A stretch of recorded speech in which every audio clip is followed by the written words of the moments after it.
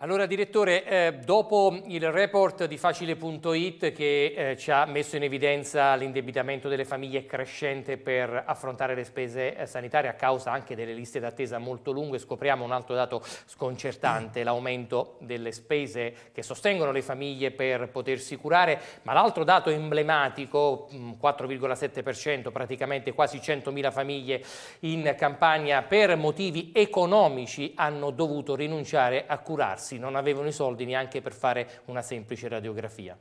Ma io credo che il migliore commento a questa situazione di disastro devastante della sanità italiana, attenzione, poi nel sud che peggiorino le cose è, è, è, noto e notorio anche per le ragioni che conosciamo, che sono ragioni di carattere soprattutto economico.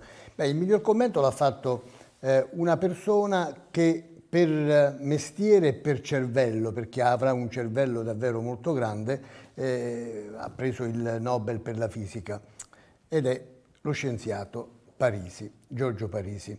Che cosa ha detto in buona sostanza? Che poi è la risposta a tutte le cose che stiamo trattando di sanità ormai da mesi. No?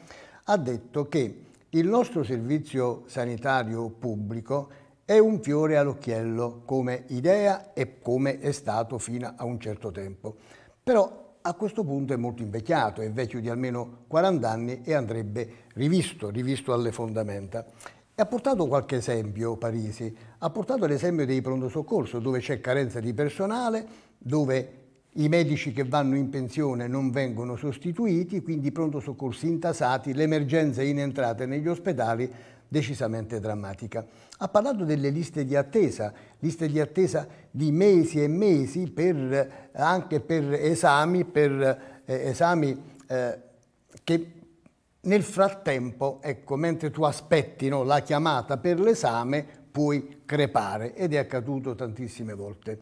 Ha parlato dei medici che vengono pagati profumatamente all'estero, specialmente in Germania, in Svezia e in altre, per cui i giovani si sentono più incentivati a scapparsene, per non parlare degli specialisti, eccetera.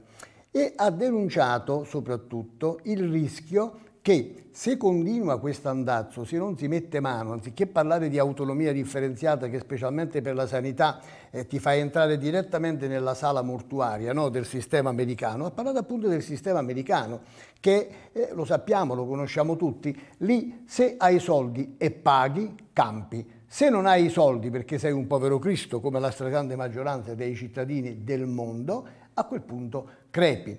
Allora, il problema è, qui ci vogliono tanti soldi per la sanità, il problema non è l'autonomia differenziata, accantonatela, mettetela da parte, anche perché per realizzare quei LEP ci vorrebbero 100 miliardi circa.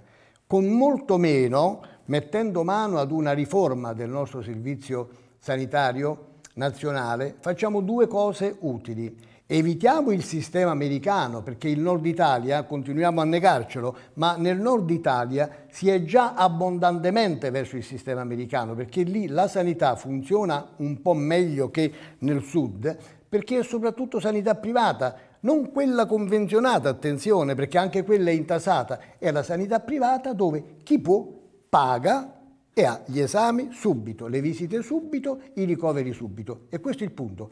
Quindi ci vogliono tanti soldi, tanti soldi perché o è questo oppure diventiamo mano a mano, piano piano, diventiamo un servizio sanitario americano che è quello che Parisi ha ben descritto. Ora, se uno scienziato eh, della statura, non soltanto eh, intellettiva, ma anche morale di Parisi, continua a parlare a vuoto, è una voce nel deserto perché purtroppo questa politica è talmente distratta da non capire nemmeno le cose semplici più, beh, siamo rovinati. Siamo davvero rovinati. La sveglia dovrebbe essere questa. Se parliamo di Europa, perché ci sono le elezioni europee, proviamo a parlare anche di sanità e di ciò che ha detto uno scienziato intelligente, uno che prima di parlare usa il cervello, qual è appunto Giorgio Parisi.